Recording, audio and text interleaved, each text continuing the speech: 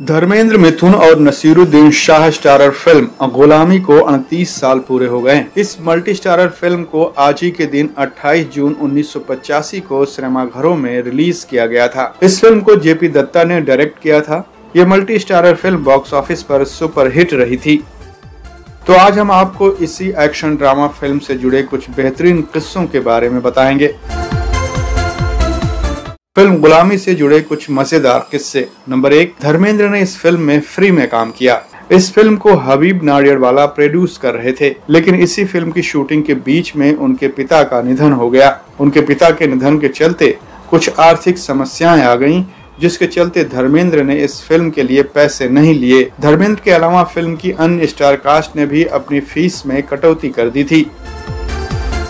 Number दो विनोद खन्ना ने film को छोड़ा। फ़िल्म गुलामी में रणजीत सिंह चौधरी के किरदार के लिए पहले विनोद खन्ना को साइन किया गया था, लेकिन इसी दौरान विनोद खन्ना ने संन्यास लेने का फैसला ले लिया था, जिसके चलते उन्होंने इस फ़िल्म को करने से मना कर दिया।